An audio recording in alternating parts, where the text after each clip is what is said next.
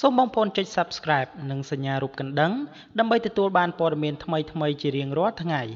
ដូច្នេះសូមតាមដានទស្សនាព័ត៌មានដូចតទៅ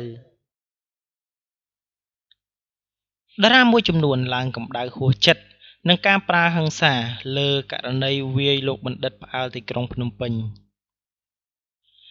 កាន់តែឡើងកម្ដៅម្ដងទៀតនៅពេលនេះក្រោយពេលដែលហេតុការណ៍ខឹងសម្បា វាយទៅលើលោកបណ្ឌិត បង្កគ្រោះថ្នាក់ចរាចរណ៍ឈានដល់ការបើក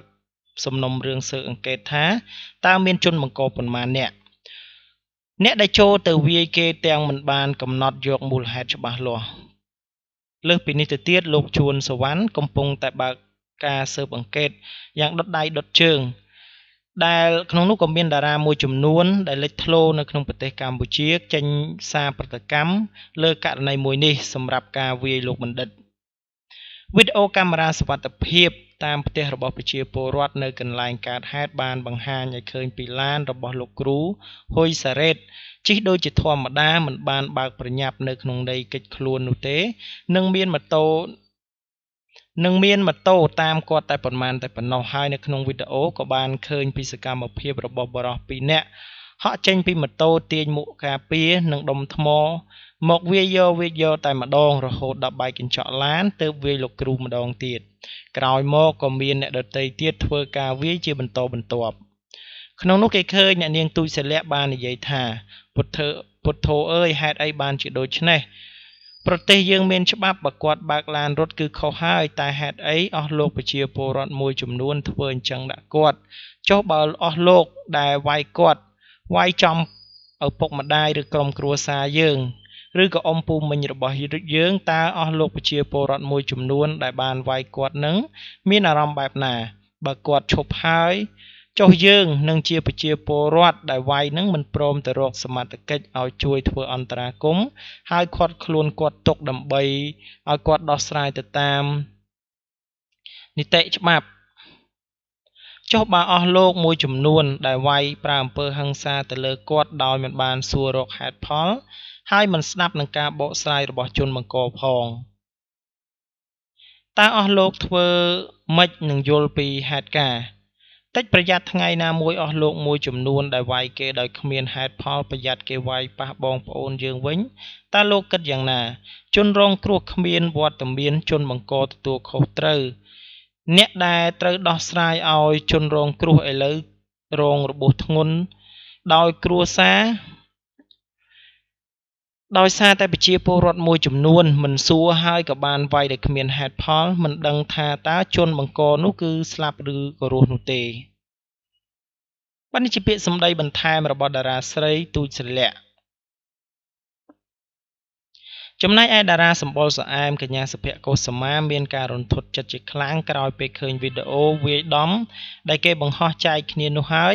ហើយកញ្ញាក៏បានបង្ហោះសារសំណុំពរកុំឲ្យប្រជាពលរដ្ឋប្រើហិង្សាយកច្បាប់មកដោះស្រាយវិញគឺល្អជាងកញ្ញាបានឲ្យដឹងថាបងប្អូនអើយដុំថ្មធំធំផងមួកការពារផងជើងផងដៃផង មើលហើយខ្លោចចិត្តណាស់ដាច់ចិត្តម្លេះគាត់ខុសត្រង់គាត់មិនទទួលខុសត្រូវតែគាត់ បង្កដោយអចេតនាទេកុំធ្វើការសម្រេចចិត្តដោយចិត្តឯងអញ្ចឹងដោយមិនទាន់ឃើញផ្ទាល់ភ្នែកប្រជាពលរដ្ឋត្រូវគិតថាប្រទេសគឺមានច្បាប់ទុកឲ្យច្បាប់ជាអ្នកដោះស្រាយបើសិនជាគាត់ស្លាប់តើជនរងគ្រោះទទួលបានសំណងដែរឬទេ បងប្អូនធ្វើនេះកំពុងតែបង្កើនច្បាប់ដោយខ្លួនឯងសុំទោសដែលនិយាយពាក្យនេះតែនាងខ្ញុំក៏ជាប្រជាពលរដ្ឋខ្មែរដែរអញ្ចឹងនាងខ្ញុំក៏សូមបញ្ចេញមតិយោបល់ដែរ បានជាពាក្យសម្ដីរបស់សុភកុសមាចង់ប្រាប់ទៅដល់មហាជនថាកុំអោយប្រព្រឹត្តអំពើបែបនេះតទៅទៀតតារាសម្ដែងលោកនរៈសេរីវិទ្យាក៏បានបង្ហោះសារអាណិតលោកបណ្ឌិតថា មើលហើយទ្រាំនិយាយមិនបានខ្ញុំគិតថា ដោយសារតែទម្លាប់អាក្រក់និងអំពើដ៏ឃោឃៅបែបនេះហើយ បានជាយូរយូរទៅ អ្នកបង្កគ្រោះថ្នាក់ដែលលែងហ៊ាននៅដោះស្រាយទើបត្រូវបង្ខំចិត្តគិតចេញពីស្ថានភាពនោះ ដែលមានគ្រោះថ្នាក់ជាបន្តបន្ទាប់នេះមិនមែនជាការកាន់ជើងនោះទេក៏ប៉ុន្តែសូមគិតទៅចំណែកឯ Facebook មួយទៀតដែលមានឈ្មោះថាលោកផែងវណ្ណៈក៏បានបញ្ជាក់លើគណនី Facebook របស់លោកថាប្រភពច្បាស់ការពីសមត្ថកិច្ចក្រុងនៅពេលនេះសមត្ថកិច្ចកំពុងតែប្រមូលភស្តុតាងនិងវីដេអូជនល្មើសដែលបានប្រើហិង្សាវាយជនបង្កគ្រោះថ្នាក់ចរាចរណ៍ដើម្បីយកមកផ្ដន់ទោសតាមផ្លូវច្បាប់ លោកបានអះអាងទៀតថា ជនប្រើហិង្សានោះគឺត្រូវបានថតជាប់ដោយអ្នកសារព័ត៌មានហើយលោកផែងវណ្ណៈបានបង្ហាញឆន្ទៈគ្រប់គ្រងចំងាត់ការរបស់សមត្ថកិច្ចដើម្បីតាមចាប់ជនល្មើសមកផ្ដន់ទោសតាមផ្លូវច្បាប់ជុំវិញករណីនេះអ្នកលេងបណ្ដាញទំនាក់ទំនងសង្គមជាច្រើនបានបង្ហោះរូបភាពនិងវីដេអូប្រងព្រាត ដោយបញ្ចេញជាមតិផ្សេងផ្សេងពីគ្នាក៏ប៉ុន្តែភាគច្រើនបានរិះគន់ទៅលើជនបង្កប្រើជនបង្កហិង្សាហួសហេតុរហូតចង់คลายជាការកាត់ក្តីប្រហារជីវិតបង្កទៅលើជនបង្កគេបានលើកជាសំណួរថាតើហេតុអ្វីបានជាប្រជាជនខ្មែរព្រៃផ្សាយយ៉ាងនេះតើច្បាប់ខ្មែរលែងទុកចិត្តបានមែនទេចុះបើម្ចាស់ឡានស្លាប់តើបានអ្នកណាចេញសងជនរងគ្រោះ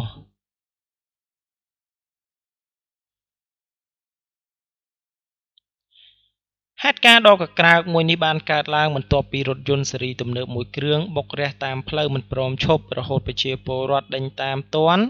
នាំគ្នាវាយយ៉ាងដំណំសាហាវបែបបែកឈាមស្រោចខ្លួនតែម្ដង បើគុំតែប៉ូលីសធ្វើអន្តរាគមន៍ទាន់ប្រហែលជាម្ចាស់រថយន្តមិនអាចនឹងមានជីវិតបានឡើយជុំវិញសកម្មភាពនេះ បានធ្វើឲ្យមហាជនជាច្រើននាំគ្នារិះគន់ចំពោះប្រជាពលរដ្ឋដែលបាននាំគ្នា ធ្វើជាតឡាការចង់កាត់ក្តីប្រហារជីវិតជនបង្កក៏ប៉ុន្តែមានអ្នកខ្លះទៀតលើកឡើងថាម្ចាស់រថយន្តសមនឹងទទួលបែបនេះយ៉ាងណាក្តីនៅពេលនេះសមត្ថកិច្ចក្រុងកំពុងតែសិក្សាស្រាវជ្រាវតាមរយៈវីដេអូដែលបានថតជាប់ដើម្បីធ្វើការប្រមូលភស្តុតាងនិងនាំជនល្មើសដែលបង្កហិង្សាទៅផ្ដន់ទោសតាមផ្លូវច្បាប់ និងមិនឲ្យរួចខ្លួនឡើយ បានជារឿងហេតុដ៏សាហាវនឹងប្រក្រើករាជធានីភ្នំពេញតែម្ដងខណៈពេលដែលបរិសម្នាក់ដែលគេស្គាល់ថាជាសាស្ត្រាចារ្យដែលបង្រៀននៅសាលាបកម្មសាកលវិទ្យាល័យកម្ពុជានិងជាបណ្ឌិតដែលមានឈ្មោះថាហ៊ុយសារ៉េតនៅម្ដងនឹងពេលនេះគឺបានបញ្ជូនទៅកាន់ប្រទេសវៀតណាមហើយក៏ប៉ុន្តែស្ថានភាពនៃការដឹងខ្លួនឬក៏យ៉ាងណាគឺមិនទាន់មានព័ត៌មានចេញផ្សាយជាបន្តនោះឡើយក៏ប៉ុន្តែបើយើងទៅមើលតាមទស្សនវិជ្ជាជាក់ស្ដែង បើនៅក្នុងស្ថានភាពនោះគឺពិតជាពិបាកនឹងអាចដឹងខ្លួនមែនទែនដោយសារតែប្រជាពលរដ្ឋជាច្រើនបានធ្វើការវាយដំតាមរយៈដុំថ្មបាក់ឥដ្ឋរួមជាមួយនឹងមួកសុវត្ថិភាពជាដើមដែលមើលទៅអាចនឹងទ្រុឌទ្រោមខ្លាំងបើអាចនិយាយបានថារាងកាយរបស់លោកគឺនឹងមានសភាពយ៉ាប់យ៉ឺនជាក់ជាមិនខានបាទដូច្នេះសម្រាប់ព័ត៌មានទី1ខ្ញុំចប់ប៉ុណ្ណេះនឹងនាំសុកសមាវតីលួចស្រឡាញ់តារាកូរ៉េម្នាក់ សុកសមាវតីដែលជាពិធីការនេះនិងជាតារាសម្ដែងដែលទទួលបានការគ្រប់គ្រងយ៉ាងខ្លាំងបើទោះបីជានាងមានកូនមួយទៅហើយក្តីក៏នៅតែមានប្រជាប្រិយភាពមិនចាញ់តារាចំនួនក្រោយប៉ុន្មាននោះដែរតែប្រិមិត្តដឹងទេថា នាងមានតារានៅក្នុងដួងចិត្តឬក៏យើងអាចនិយាយបានថា idol ប្រចាំចិត្តរបស់នាង បើតាមមើលនៅក្នុង Facebook ផ្ទាល់ខ្លួនរបស់នាងកាលពីប្រហែលនាទីមុននេះនាងបានសរសេរនិងបាន share នៅវីដេអូមួយដែលនៅក្នុងនោះគេស្គាល់យ៉ាងច្បាស់ថាជាកម្ពុជាតារាចម្រៀងនិងតារាសម្ដែងប្រចាំប្រទេសកូរ៉េលោកលីមិនហូ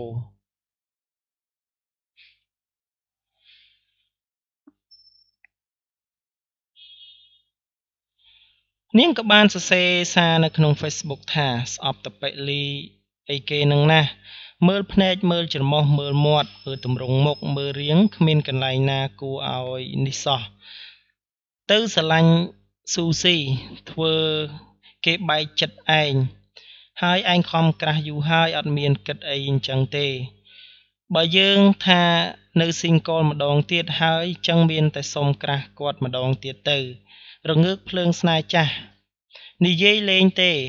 តែហ្វេនតប៉ិលីនឹងគឺផ្ដាច់មុខតែម្ដង នៅក្នុងនោះអ្នកគាំទ្រជាច្រើន មានការភ្ញាក់ផ្អើលដែលមិននឹកស្មានថាអាយដលរបស់នាង គឺជាលោកលីមីនហូយ៉ាងដូចនេះហើយជាពិសេសនាងក៏បានបង្ហាញពីអារម្មណ៍ពិតថានាងពិតជាលួចស្រឡាញ់និងចូលចិត្តគ្រប់យ៉ាងដែលលោកលីមីនហូមាន។ បញ្ជាការពិតមួយដែលសុកសមាវតីធ្វើការបង្ហោះសារនៅក្នុងបណ្ដាញទំនាក់ទំនងសង្គមភ្ជាប់ជាមួយនឹងវីដេអូរបស់លោកលីមីនហូដែលកំពុងតែធ្វើការបញ្និយាយទៅកាន់អ្នកសារព័ត៌មានតារាស្រីរូបនេះបាននិយាយថាល្អជាច្រើនដែលសូម្បីតែរូបរាងកាយដែលលោកលីមីនហូមាននៅពេលនេះគឺសុខសមាវតីពេញចិត្តស្ទើរតែទាំងអស់ដែលអាចនិយាយបានថាទាំងច្រមុះភ្នែក បើការនិយាយស្ដីការតបតែងខ្លួនគ្រប់បែបយ៉ាងគឺសុខសមាវតីពេញចិត្តតារារូបនេះជាខ្លាំងដោយនាងបាននិយាយថានាងបះលួចស្រឡាញ់តារាប្រុសរូបនេះយូរមកហើយក៏ប៉ុន្តែយ៉ាងណានាងបានបញ្ជាក់ថាពាក្យសម្ដីទាំងនេះគឺនាងចាត់ទុកលោកលីមីនហូជា fan បើជា idol របស់ខ្លួនមួយរូបខណៈពេលដែលនាងគឺជា fan ដែលសលួចស្រឡាញ់បើជាយូរណាស់មកហើយ។ បាទនេះជាពាក្យសម្ដីមួយដែលតារាស្រីសុកសមាវតីធ្វើការបង្ហោះសារនៅក្នុងបណ្ដាញទំនាក់ទំនងសង្គម Facebook ចង់ឲ្យដឹងបងប្អូនដឹងថាតើតារានៅក្នុងដួងចិត្តរបស់នាងគឺជានរណាគេបាទដូច្នេះសម្រាប់ព័ត៌មានទី2នេះខ្ញុំបាទសូមបញ្ចប់ប៉ុណ្ណេះសូមអរគុណរាល់ការតាមចុច Subscribe របស់បងប្អូនទាំងអស់គ្នា